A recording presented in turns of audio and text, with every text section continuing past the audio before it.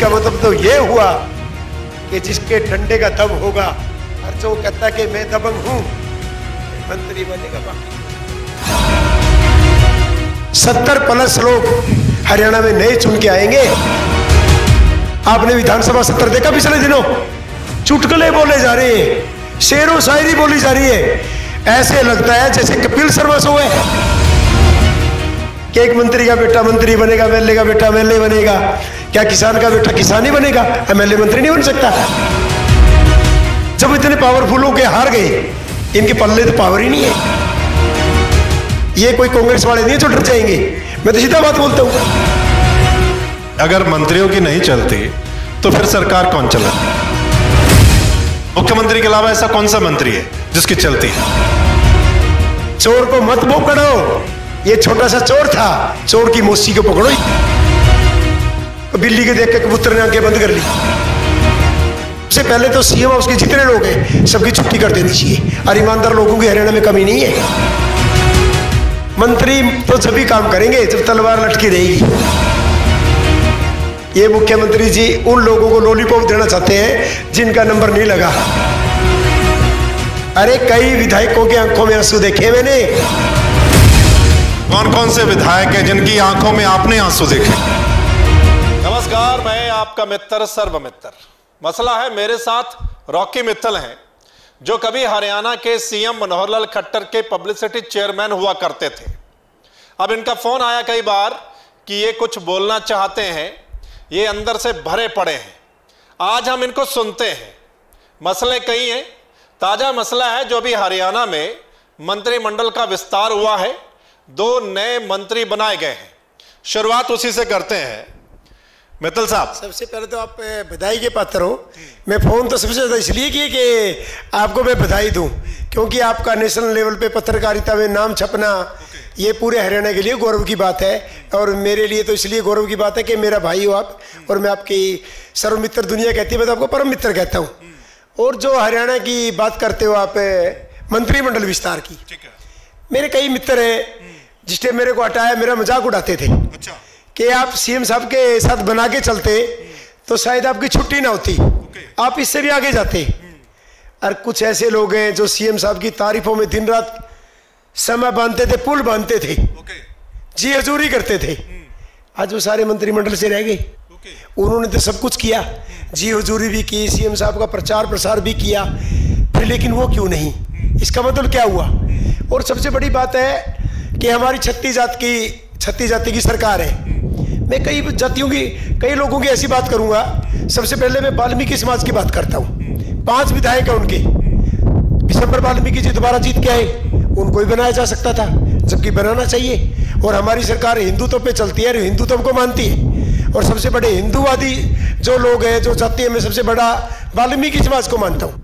महर्षि वाल्मीकि जी ने रामायण तो राम और रावण का युद्ध होने से पहले लिख दी थी। तो ऐसे लोगों को जो इतना काम करते हैं, नब्बे परसेंट वोट बीजेपी को जाता है वाल्मीकि समाज का। उनको बनाना चाहिए था।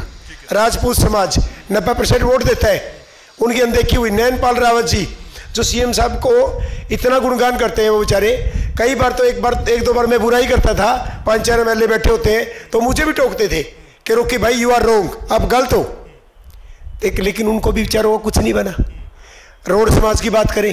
रणधीर गोलन जी ने उनका समर्थन दिया हुआ है और जो घरोंडा से दोबारा विधायक बन के आए हैं तो उनका भी हक बनता था। उनको नहीं बनाया गया।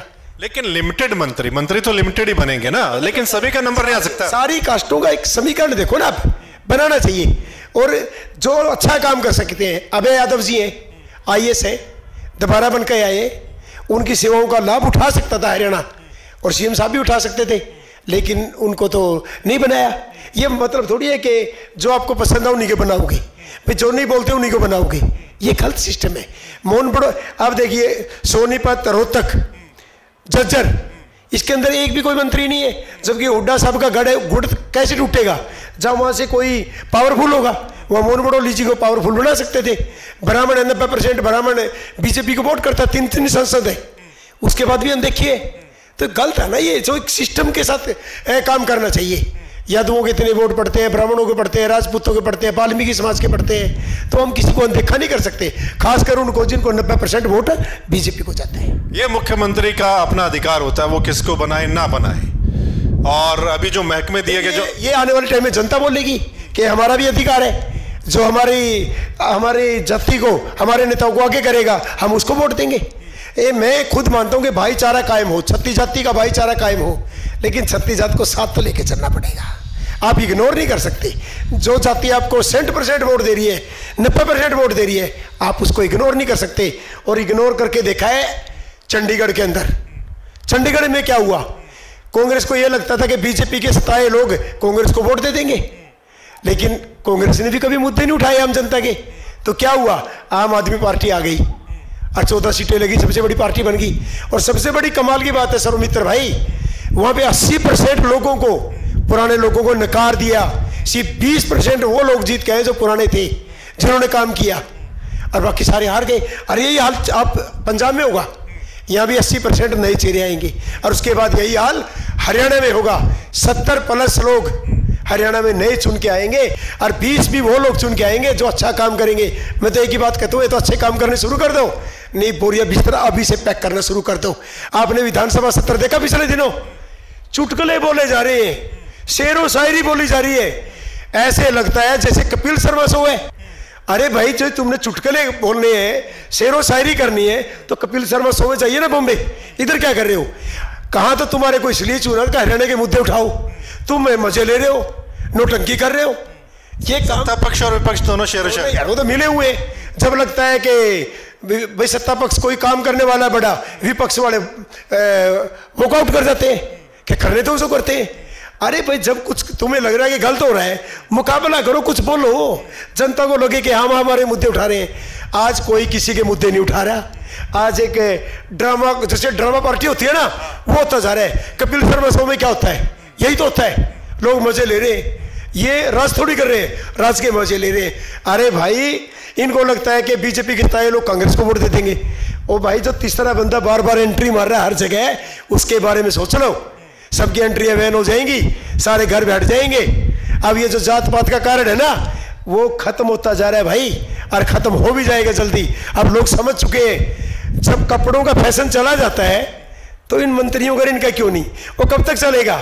कि एक मंत्री का बेटा मंत्री बनेगा एमएलए का बेटा एमएलए बनेगा। क्या किसान का बेटा किसान ही बनेगा? एमएलए मंत्री नहीं बन सकता। क्या किसी व्यापारी का बेटा दुकान ही करेगा? क्या मजदूर का बेटा मजदूरी करेगा? सबको हक है। और जो कुछ सिर फिर लोग कहते हैं अरे अब की बार तो यो आवेगा क्यों आवेगा भाई?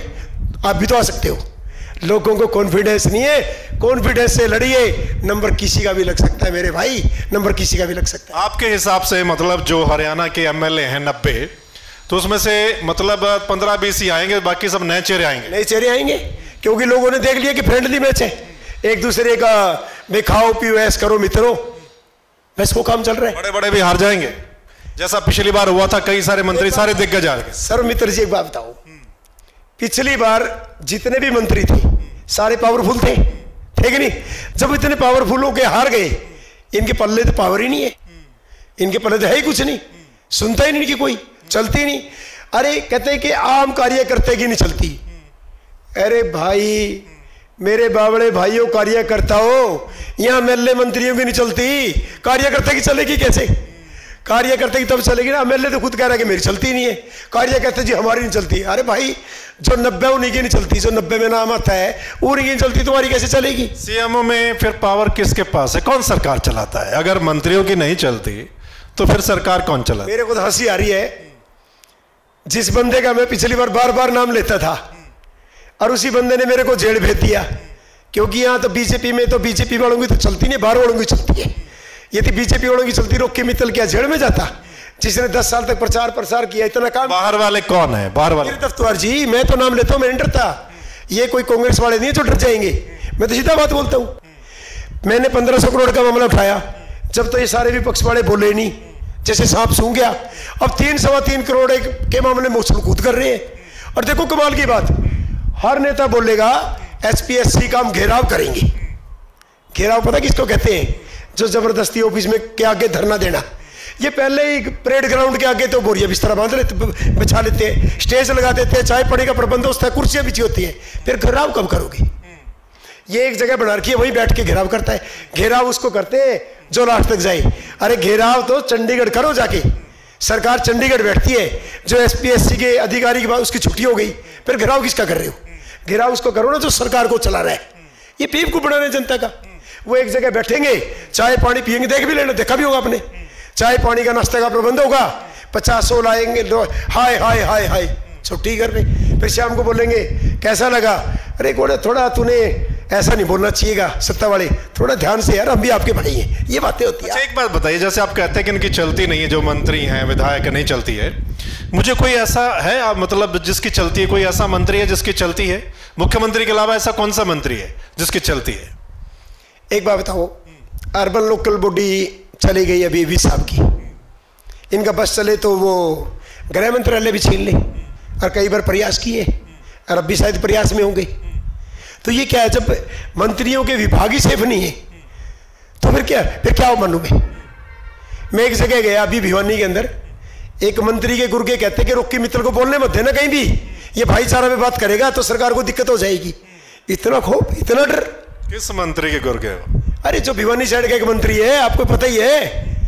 तो उनके लोग कहते कि नहीं भाई नहीं इसको रोको। भाई मेरे को रोकने की ज़रूरत नहीं है भ्रष्टाचार को रोको। खुल के बोलो कौन सा मंत्री है भ्रष्टाचार को रोको अत्याचार को रोको। जो डेली फिरौतियाँ मांगी जा रही हैं मर्डर हो रहे हैं उनको रोको। आज कानून व्यवस्था को बिल्कुल जंग लग चुका है हरियाणा के अंदर। उन चीज़ों को रोको। एक पुलिस वाले को बोलते हैं कि पाँच सौ खा गया, हज़ार खा गया, उस पर तो कार्रवाई होनी चाहिए। और जो करोड़ों की टैचियाँ जाती हैं, ये नौकरियाँ बिकती हैं तो इन पर कार्रवाई कौन करेगा? चोर को मत पकड़ो ये छोटा सा चोर था। चोर की मोसी को पकड़ो, ये रैकेट चला कौन रहा है? अभी लुधियाना में बम ब्लास्ट हुआ। गगनदीप नाम का व्यक्ति जो साथ मर गया, बोला उसने ब्लास्ट किया। लेकिन कमाल की बात है कि उसके जितने पीछे गुर्गे थे सारे पकड़ में आ रहे जर्मनी तक पकड़े जा रहे। तो फिर ये क्यों नहीं जो नौकरियाँ बेचने वाले ये क्यों नहीं पकड़े जा रहे पूरे के पूरे? इसके पीछे की साजिश क्या है? वो क्यों नहीं पकड़ी जा रही? वो तो इसलिए पकड़ लिया कांग्रेस का राज है। ये क्यों नहीं पकड़ा जा रहा बीजेपी के आप करोड़ों की बात करते हैं लेकिन मुख्यमंत्री कहता है कि हमारी सरकार में पर्ची खर्ची नहीं चलती अभी भी। तो हम बख्शेंगे नहीं? अगर कोई पकड़ा गया तो हम बख्शेंगे ना। पर्ची नहीं चलती पर्चा चलता है। खर्ची नहीं चलती खर्चा चलता है। खर्ची में तो लाखों होते हैं खर्चा में मोटी रकम होती है। पर्ची में एक दो नाम होता है खर्चा में पूरे नाम होते हैं। मुख्यमंत्री कहता है मैं तो ईमानदार हूँ और इस बात की तारीफ़ तो विपक्ष भी करता है। ये तो धृतराष्ट्र जी भी कहते थे कि मैं तो सही हूँ। गलत काम तो दुर्योधन दुशासन करते थे फिर पक्ष कौन देता था? बैठे किसके नीचे थे? धृतराष्ट्र के ना? बात वही है कि भाई आँख बंद कर लो। वो तो कहोगे ना कि बिल्ली के देख के कबूतर ने आँखें बंद कर ली। ऐसे थोड़ी हो जाएगा। मतलब हरियाणा को चला रहा है बाहर का कोई। हरियाणा वालों की चलती नहीं। चलती होती तो कार्यकर्ताओं को तो ये बोला जाता है कि भाई मेरिट पे नौकरी मिलेगी। वो बेचारे चुप हो जाते हैं। उनको तब पता लगा ना कि कौन सी मेरिट के ऊपर चल रही है। ये तो काम हो गया ना भाई माल खाए मदारी डंडे खाए बांदरी। हम तो डंडे खाने के लिए। सरकार कहती है कि आम घरों के बच्चे लग रहे हैं गरीब घरों के बच्चे लग रहे हैं। पहले ऐसा होता नहीं था। बड़ी नौकरियों पर कौन सा लग रहा है? बड़ी नौकरियाँ तो पकड़ी गई है। आप अठारह बीस हज़ार की नौकरी दे दो। कुछ दे दो फ्री में दे दी। और जब मोटी मोटी रकम लेने वाली है उसका वेट तोड़ के लो। तो फिर कौन सा मसला है। फिर चैट पकड़ी गई जो पाँच करोड़ की वो बंदा का है। हुड्डा साहब ने बोला कि पाँच करोड़ की चैट है। फिर वो नाम क्यों नहीं ले रहे? ये तो फिर मिल गए सारे। या फिर नाम बताओ। तो ये मसला हल कैसे होगा? इसके नेता कौन है? हुड्डा साहब है। उनको बताना चाहिए कि नहीं बताना चाहिए? यदि मान लो मैंने बोला था पंद्रह करोड़ करोड़ का मामला पंद्रह सौ करोड़ का मामला। मैंने नाम बताया था कि नहीं बताया था? बच्चे जेल चला गया। फिर ये बताते क्यों? जेल जाना डरते हैं क्या? अच्छा मसला हल कैसे होगा? ये बहुत सारे बड़े मसले हैं तो मसला हल कैसे होगा? देखो, इनको सोचना पड़ेगा। इनको तय करना पड़ेगा कि आप कैसी सरकार चाहते हो। जब तक अच्छे लोग सरकार को नहीं चलाएँगे, सरकार, सबसे पहले तो सीएम और उसके जितने लोग हैं, सबकी छुट्टी कर देनी चाहिए और ईमानदार लोगों की हरियाणा में कमी नहीं है। हमारे लोग तो बेचारे, जो काम करने वाले थे, वो तो धक्के खा रहे हैं। अब देखो, पचास हज़ार वोटों से मान लो बेदी जी हार गए, वो तो ओ जो बिशंबर वाल्मीकि जी उसे समाज के जीत के आए वो धक्के खा रहे एक पर्चा लेके घूम रहे जी कोई काम कर दो काम कर दो। ये क्या तरीका है? मैंने सुना है जो सत्ता पक्ष के विधायक भी हैं मतलब वो नाराज़ से हैं। अंदर खाते मतलब है लेकिन बोलते नहीं। नाराज़ से ही नहीं नाराज़ नहीं कहीं बोलते बेटा साहब ने बोला कैथर वाले विधायक ने बोला सारे बोलते सुने कौन? गोलन साहब बोलते हैं? वो गाना ने बोलते हैं चुप कर जाते हैं थोड़ा सा बोलते हैं चुप कर। कौन सुनेगा किसको सुनाए इसीलिए चुप रहते हैं कुछ सुनने वाले नहीं है। ये भी ऊपर से आदेश आता होता भी सीएम साहब तो पलटेंगे नहीं। अभी और एक और कमाल की बात बताता हूँ। सीएम साहब का एक बयान देखा होगा आपने कि ये मेरा फ़र्स्ट एंड लास्ट है मंत्रिमंडल का विस्तार। भाई मंत्री तो सभी काम करेंगे जब तलवार लटकी रहेगी कि कभी भी छुट्टी हो सकती है गलत काम किया तो। तुमने सर्टिफिकेट दे दिया कि जैसे मर्ज़ी ऐस करो कमाओ खाओ जो मर्ज़ी करो तुम्हें कोई हटाने वाला नहीं है क्योंकि सीएम साहब तुम्हारे साथ है। ये क्या मसला हुआ? लोग तो कहते हैं कि अच्छा काम नहीं करोगे हटा देंगे। इसका मतलब जो मर्ज़ी करते रहो भ्रष्टाचार करते रहो। ये भी चर्चा कि मुख्यमंत्री तो किसी और को मंत्री बनाना चाहते थे लेकिन ऊपर से हाईकमान से कोई और मंत्री लेकर आ गया मंत्री पद। ये मुख्यमंत्री जी उन लोगों को लॉलीपॉप देना चाहते हैं जिनका नंबर नहीं लगा कि भाई मैं तो तुम्हारे को बनाना चाहता था और ये तो ऊपर से आदेश आ गए। ये कौन सा तरीका है? ऊपर से तो आदेश रोकी मित्तल के थे क्या? भाई रोकी मित्तल को जेल में डाल दो। क्या मोदी जी ने बोला था? वो तो खट्टर साहब ने डाला ना मेरे को जेड़ में। ये ढकोसलेबाजी है, जहाँ पे सेटिंग आ जाए तो मैंने किया है। गलत काम हो तो ऊपर वालों ने कर दिया। ये अधिकारी एम एल यही तो कहते हैं कि भाई मेरा कोई कसूर नहीं है, ऊपर से कॉल आ गया तक यही नहीं पता कि ऊपर कौन है। ये एक बेवकूफ़ बनाने वाली और लोगों को लॉलीपॉप देने वाली।